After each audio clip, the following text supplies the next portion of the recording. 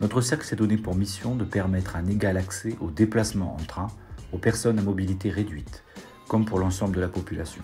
Pour réaliser cette mission, nous avons identifié quatre objectifs principaux. 1. Mettre en œuvre l'accessibilité universelle et au-delà la qualité d'usage pour tous. 2. Rendre accessible à tous l'information et les ressources. 3.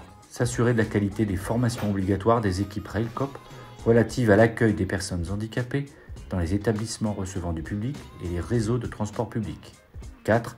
S'assurer que les législations françaises et européennes et la Convention de l'Organisation des Nations Unies des droits des personnes handicapées soient respectées et aller au-delà pour permettre à tous de voyager en autonomie.